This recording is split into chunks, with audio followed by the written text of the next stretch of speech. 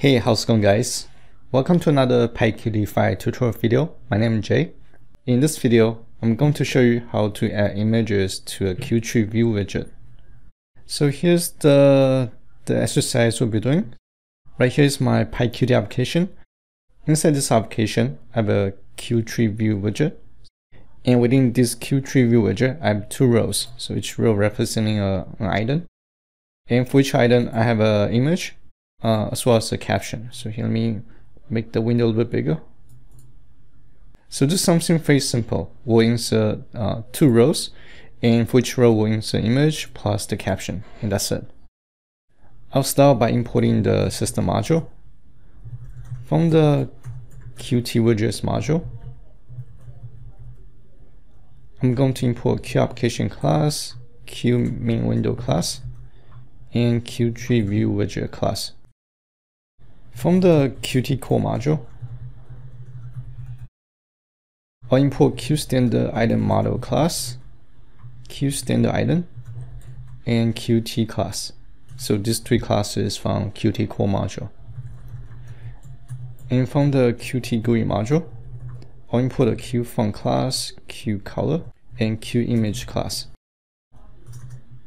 And those are the classes that I'll be using for this exercise. Next, I'm going to create my app demo class. And this is going to be used to as my uh, application template.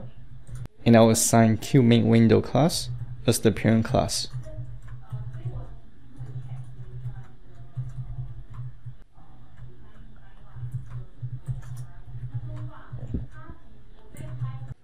Here are the two images that I'll be using. So one image has a couple cats and the other image is a photo of Taipei.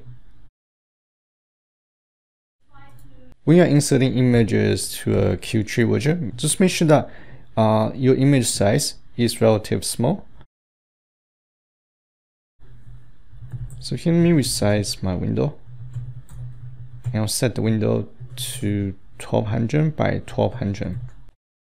Next, I'll create my tree view instance. Is equals to QTreeView. And I'll configure some of the settings. So I'll set the header using the set header heading property. And I'll set the value to 2. I also want to make sure that uh, the rows are stretched. So I'll insert the tree view object dot header dot set stretch last section. I'll set the value to 2. And to display the items, I need to create a model. And I'll name this model tree model. Is equals to Q standard item model. And we need to create a root node. Is equals to tree model dot invisible root item. And here let me create my Q application instance.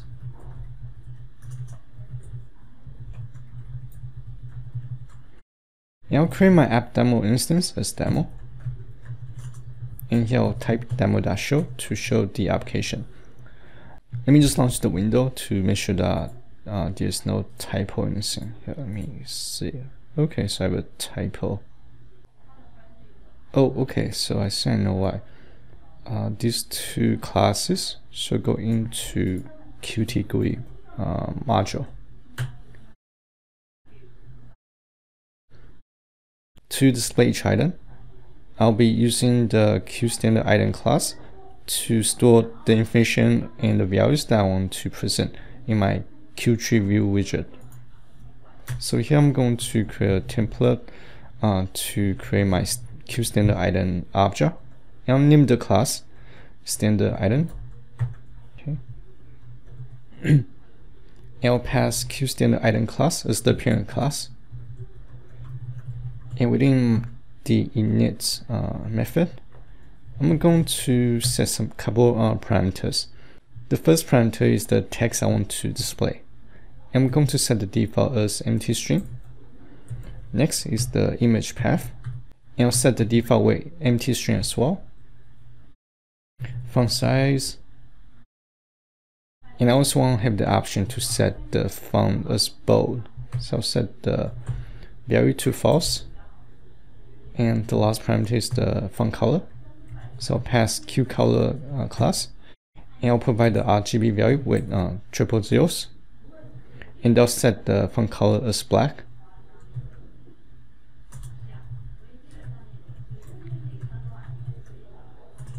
Alright, so here let me create my font style. I'll use Open Sans as my default style, followed by the font size. In case you want to set the captions bold, so here we can use the set bold method. It'll provide the set bold argument. And followed by a couple uh, default settings. So I'm going to set the editable setting to false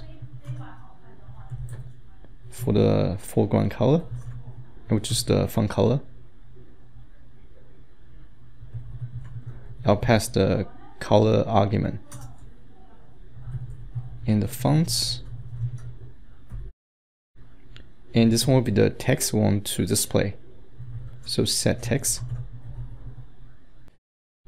and if we want to display image so here I'm going to check whether or not if the image argument is empty string. If the image path is not empty string, then I want to create image object. Now pass the image path. And to display the image, I'll use setData method. I'll pass the image object. And for the row, I'm going to use qt dot decorate decoration role. And this is everything we need to write to create our QStandard item template. Now let's go back to the app demo class. So create the root node. Let's say I want to create my parent node as, let's say, uh, let's name this as photos.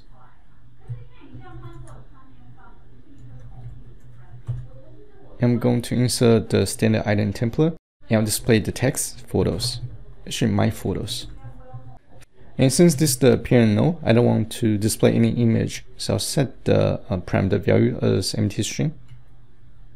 I'll set the bold value to 2. And once I have the parent node created, I can create each row individually to display the item as well as the text. So this one's going to be cat image. And I'll name the object cat. Is equals to standard item. And this is the text want to display in the image path. So the image path is going to be on the images followed by the file name.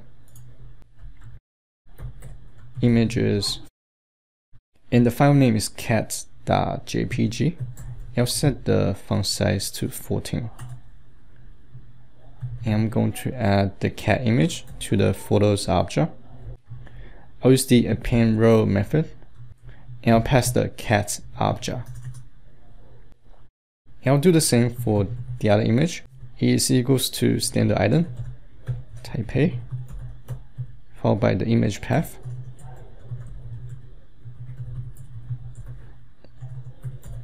I'll set the font size to, let's do 16 to make the fonts a little bit bigger. Now I can add the image to the photos object.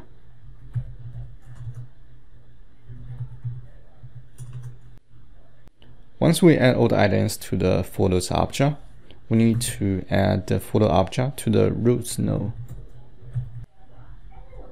And insert photos object. And we need to set the model to the tree view widget. So set model. And I'll provide the tree model object. And this one's optional.